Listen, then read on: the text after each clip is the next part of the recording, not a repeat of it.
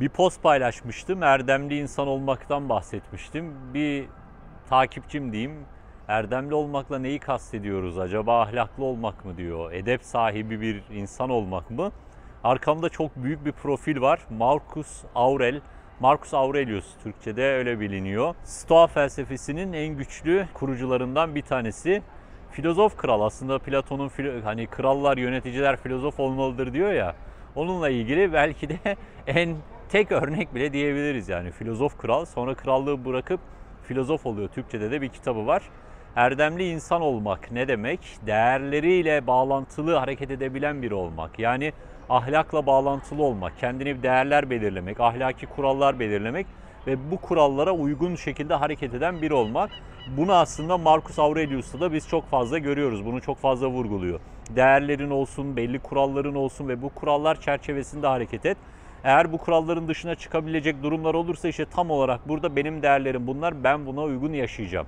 Diğerlerinin bana nasıl davrandığı, nasıl yaklaştı onların sorunu. Bu benim sorunum değil.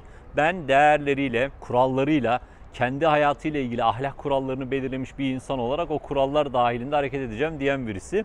Benim çok sevdiğim insanlardan bir tanesi. Ben tabii ki Epiktetos'u daha çok seviyorum. Epiktetos'u daha fazla okudum, daha çok inceledim. Onun hayatı bana daha ilginç geliyor ama Marcus Aurelius da gerçekten önemli bir profil Stoa felsefesinde. Buranın çok ilginç bir özelliği var. Benim en sevdiğim filmlerden bir film tavsiyesi olarak düşünebiliriz ama çok sıkıcı bir film yani. İlk birkaç izlediğinde muhtemelen yarıda bırakacaksın. Oğuz bu ne biçim film? Böyle film mi tavsiye edilir diyeceksin. Nostaljiye filmin adı. Andrei Tarkovski en sevdiğim yönetmen. Bir numarada o var.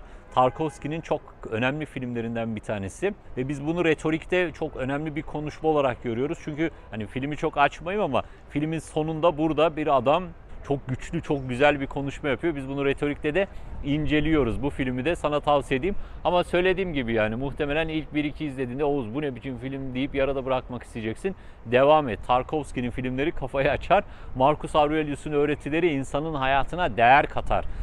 Stoa felsefesi erdemli bir insan nasıl olunur? Ahlaklı bir birey nasıl olur? Değerlerini nasıl inşa edersin? Bunları çok güzel vurgular. Özellikle son dönemde Türkiye'de Stoa felsefesi çok popüler olmaya başladı.